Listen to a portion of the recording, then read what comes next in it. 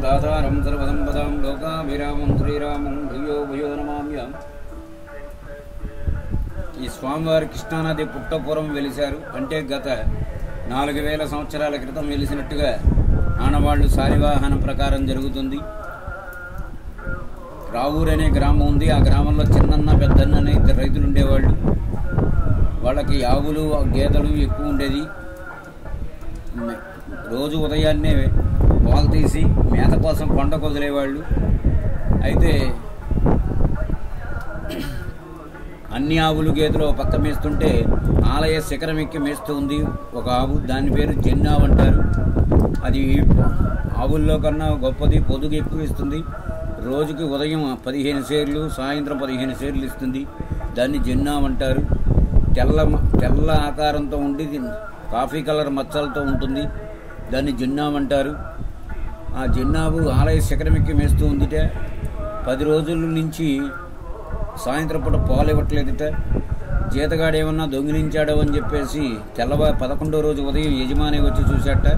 అన్ని ఆవులు గేదెలు కూడా ఒక పక్కన మేస్తున్నాయి. ఇది ఒకటే ఒక పక్క మేస్తుంది. ఏంటి? మనిషి కూడా ఎక్కే పరిస్థితి కాదు ఇక్కడ.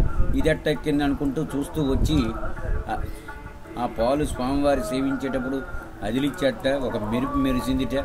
మోర్చెలు కింద పడ్డట. ఆ లేచి చూసేపాటికి ఆవులు గేదెలు కూడా ఇంటి బయట పట్టినీట. సరే ఇంటికి వెళ్ళాడు కాలకృత్యాలు తెరుచుకున్నాడు స్నానం చేసి పాలు ఆవులు గేదెలకి చక్కగా రైతు ఎలా తీస్తాడో అలా చక్కగా పాలు తీస్తున్నట్ట అన్నీ ఇచ్చినీటే కానీ ఈ ఆవు మాత్రం ఇప్పటికి ఇవ్వలేదుట. ఆలోచిస్తూ పడుకున్నాడు. ఏకోజావున వెండి బెత్తం పెట్టి సరిసి కొట్టి లేపి వెంకటేశ్వర స్వామిని నేను రావూరు కొండ మీద పది రోజుల నుంచి కూడా మీ ఆవు పాలు భుజిస్తున్నాను ఎవరు దొంగిలించలేదు అని చెప్పి రావి చెట్టు యాప చెట్టు ఈత చెట్టు ఎక్కడైతే దొరుకుతు చూడండి అక్కడ నిధి దొరుకుతుందో. ఆ నిధి తీసుకొని ముందుకు వచ్చి ఏడు అడుగులు ఏడు పాదాలుగా ఏడు అడుగుల్లో ఏడు ఇటుకలుగా ఉంటాయి. అవి ఏవైతే ఉన్నాయో అవి తీసుకొని లోపల నేను ఉన్నట్టుగా భావించి నేను కనపడతానని చెప్పేట సరే అక్కడ తవ్వారు. నిధి దొరికింది. అందరు గ్రామస్తులంతా ఏకకంఠంతో వచ్చారు. సరే మనిషి ఆశాజీవి ఉంటుందా ఉండదా అనుకుంటూ వచ్చారు. సరే తవ్వారు. చెట్టు దొరికింది తవ్వారు. నిధి దొరికింది. ముందుకు వెళ్ళారు. ఏడు ఇటుకలు దొరికినాయి. ముందుకు వెళ్ళారు. స్వామి సాష్కరించాడు. ఎలా ఉన్నాడు? శంఖం చక్రం వనమాల విభూషుడై ఉన్నాడు బాలాస్వరూపంలో. స్వామి సరే దోపదీప నైవేద్యాలు పెడుతున్నారు. కొంతకాలానికి వెంకటేశ్వర స్వామి ఉన్నాడు కదా అని శిల్పి గారిని పిలిపించారు.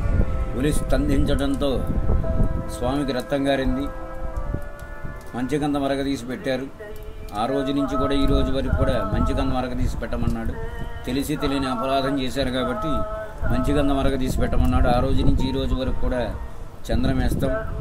ఎక్కడైనా అప్పన్న సింహాచలం అప్పన్నకి సంవత్సరానికి ఒక్క తడవ మాత్రమే గంధం వేస్తారు ఇక్కడ ప్రతిరోజు వేస్తారు. అది ఎలా ఉంటుందంటే పిల్లవాడి దెబ్బ తగిలినప్పుడు ఎలా ఉంటుందో అలా ఉంటుంది. అది సగభాగాన్ని తీసి స్వామి నివేదనగా భక్తులందరికీ వచ్చేటట్టు చూస్తాం. మంది ఎక్కువైతే మజ్జిగ ఫలితంలాగా ఉండటం ఉండదు. అది ఎంతవరకు అయితే వస్తుందో ఆ సమయం వరకే ఇస్తాము. అందుకని పది గంటల వరకు లోపు త్వరగా వచ్చేవాళ్ళు పది గంటల లోపే రావాలి దేవాలయానికి. ఎందుకంటే సా ఉదయం ఆరు గంటల నుంచి ఉదయం ఆరు గంటల నుంచి మధ్యాహ్నం ఒంటి గంట వరకు ఈ దేవాలయం ఉంటుంది. తర్వాత మెట్లెక్కే మార్గంలో పక్కనే హరిశ్చంద్రపురం ఊళ్ళో మధ్య కవల్లో నుంచి ఆవిర్భవైంది. లక్ష్మీదేవి ఆమె కొండ మీద రావూరు కొండ మీద మా స్వామి ఉన్నాడని. దేవాలయానికి గోవింద అంటూ మెట్ల మార్గమే ఉంది. తర్వాత స్వామి ఎలా వచ్చాడు? మద గజ వాహనం మీద వచ్చాడు. మద అంటే ఏనుగు గజ అంటే గుర్రం. ఏనుగు పాదం కర్ర పాదం స్వామివారి ఎడమ పాదం కర్రపోటు ఉంటాయి అక్కడ. అట్లాగే కృష్ణానది పుట్టింది. రావూరు గ్రామం కొండకి ఈ పక్కన వచ్చింది. ఒకే గర్భవాసానికి పుట్టిన అమ్మాయి అబ్బాయి ఉన్నారు. ఆ గర్భవం దాల్చిన ఆమె ఆ తల్లిగారు మరణం పొందింది. వాళ్ళ నాన్నగారు మెట్టినింటి వారికి ఆ పిల్లల్ని అప్పచెప్పడానికి బయలుదేరాడు. ఒక పిల్ల కాలం అడ్డం వచ్చింది.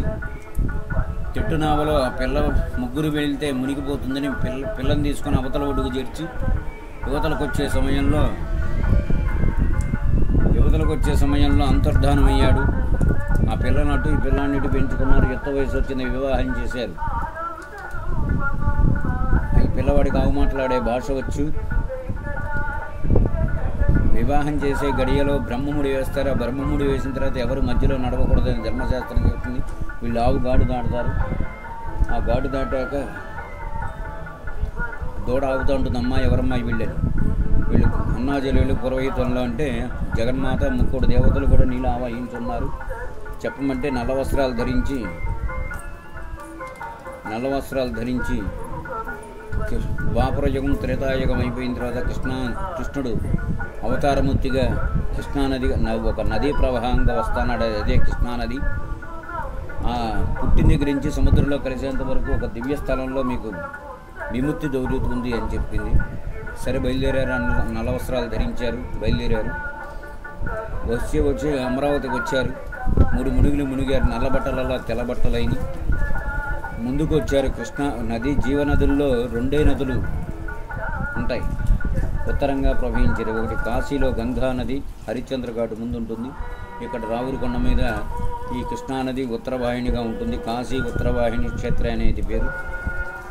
అయితే ఇక్కడ కాళ్ళకు బంధాలు విడిపోయి బంధ విరామ క్షేత్రంగా విరాజిల్లుతుంది. ఆ వాళ్ళిద్దరు అనార్జనులు దక్షిణ భాగంలో సెల్లై ఉన్నారు. ఇక్కడ భైరవుడ దెబ్బ అని ఒకటి ఉంది. స్వామి క్షేత్రపాలకుడు ఆంజనేయ స్వామి చుట్టూతా ఎనిమిది మంది ఆంజనేయ స్వాములు ఉంటారు. ఇది గరుడవ ఇది కౌంచగిరి పర్వతం. ఈ గద్దం ఆకారంలో ఉంటుంది. మనం నడి చుట్టూ మెట్లు తలకాయి అటుపక్క ఇటుపక్క ఒక రెక్క అటు ఒక రెక్క. తర్వాత ఈ స్వామి ఉన్నవాళ్ళకు ఉన్నాడు లేని వాళ్ళకు లేడు. రెడ్డి రాజుల పరిపాలనలో రెండు వేల సంవత్సరంలో రెడ్డి రాజుల పరిపాలనలో ఇరవై నాలుగు స్తంభాలతో రాతి కట్టుబడి జరిగింది.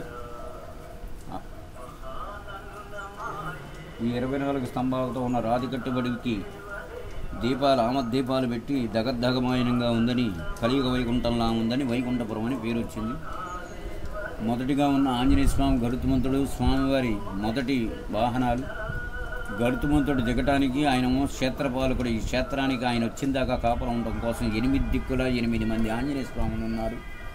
ఇప్పటి వరకు ఆరు ఆంజనేయ స్వాములు బయటపడ్డాయి. ఇంకా రెండు పడవలసిన ఉంది.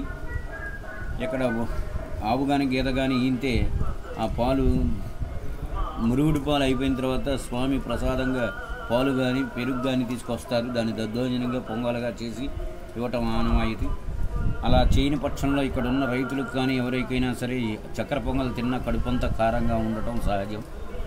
కాబట్టి ఇక్కడ ఉన్న వాళ్ళందరికీ కూడా వీడియోలు తీసుకోవడానికి అవి చేసుకోవడానికి ఇవి చేసుకోవడానికి కాకుండా స్వామివారికి ఎవరైతే మంచి కానీ చెడు కానీ చేస్తారో మంచిగా అనుకుని నమస్కారం చేసుకుని ఎవరైతే ఉంటారో వాళ్ళకి ఇహలోప మోక్షం లభిస్తుంది. ఇక్కడ అచ్చుకులం కూడా అందరికీ ఒకటే శిక్ష. ఎవరైనా కొన్ని వ్రతాల్లో చెప్పినట్టుగా ఆ పూజ కార్యక్రమం చేస్తామని చేయకపోయినా వాడు శిక్ష అనుభవించవలసిందే రెండో తడవ అభిషేకం చేసిన వ్యక్తికి కూడా మరణం పొందాడు. ఎవరైతే అభిషేకం చేసి యుక్త వయసులో ఉన్న పిల్లవాడికి నూరేళ్ళు రో- రోగం ఉండేటట్టుగా భగవంతుడు ఆక్షేపించాడు. ఎప్పుడు ఒళ్ళు పేరుతుందో ఒళ్ళు వాస్తుందో తెలియదు అలా ఏర్పడింది. ఇక్కడ సర్పంలో స్వామి తిరుగుతూ ఉంటాడు. అందరికీ కనపడుతూ ఉంటాడు. ఇది పచ్చి నిజం. కొండ మీద ఆవహించి ఒక్కొక్క స్వామిని ఒక్కొక్క భక్తుడి ద్వారా ఒకటి మెట్ల మార్గాన్ని ఇంచాడు. అంతకుముందు పూర్వ మెట్లు అందరూ పడిపోతుండేవాళ్ళు. ఇంత దూరం ఇంత టైం వచ్చేవాళ్ళు కాదు. ఈ దేవాలయానికి రావాలంటే ఉదయం ఆరు గంటల దగ్గర నుంచి పన్ పదకొండు ఒంటి వరకు రావాలి. ఒంటి గంటకి తాళం వేస్తాం. దేవతార్చనలు ఋష్యాదులు ఘంటానాదాలు శంఖానాదాలు వినపడతాయి. కొంతమంది టెస్టింగ్ కోసం ద్వయస్తమం దగ్గర పడుకున్నారు. కింద చట్టా దగ్గర ఉన్నారు. దొంగతనానికి వచ్చిన వాడు ఒకడు కుంటివాడు ఒకడు మూగువాడు గుడ్డివాడు అయిపోయారు. నానా రకరకాలుగా భావయావాలతో పడిపోయి ఉన్నారు. కాబట్టి ఈ కొండకి ఎవరు కూడా రారు దరిదాపుగా అది ఈ క్షేత్ర విషయం. ఈ వీడియో కనుక మీకు నచ్చితే మన ఛానల్ని లైక్ చేయండి షేర్ చేయండి సబ్స్క్రైబ్ చేసుకోండి. పక్కనే ఉన్న బెల్ ఐకాన్ని ట్యాప్ చేయండి. మన ఛానల్ని సపోర్ట్ చేయండి.